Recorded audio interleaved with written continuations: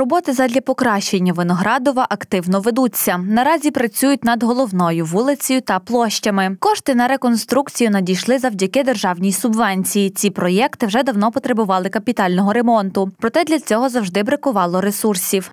нам дуже допомагає і без тих коштів ми би просто і своїм бюджетом, і своїм співфінансуванням ми би ніколи не справились. Це субвенція державного бюджету е, по соцеконому.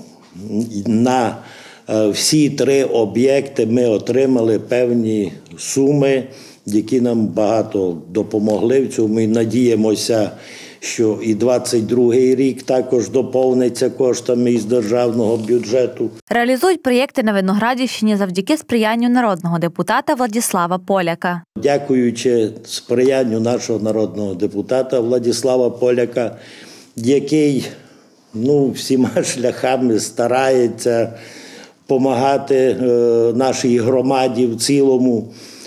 Багато робіт робиться завдяки його е, старанню, завдяки його клопотанню перед Кабміном, е, перед державними установами. Це досить колосальні гроші, які ми би самі роками могли збирати. Ви розумієте, об'єкт розпочати і роки його тягнути також то не вихід з положення.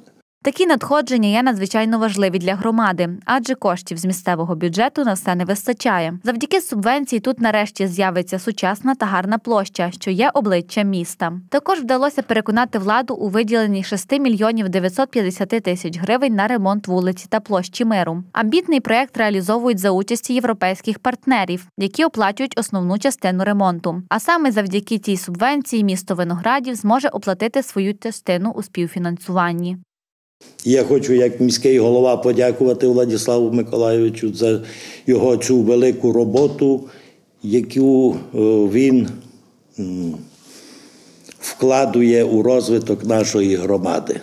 Наразі біля поліклінічного відділення створюють модернізовану площу з освітленням, зеленою зоною та ландшафтом. Ми почали роботи тут 3 е, листопада. Як бачите, рухаємося достатньо впевненими темпами.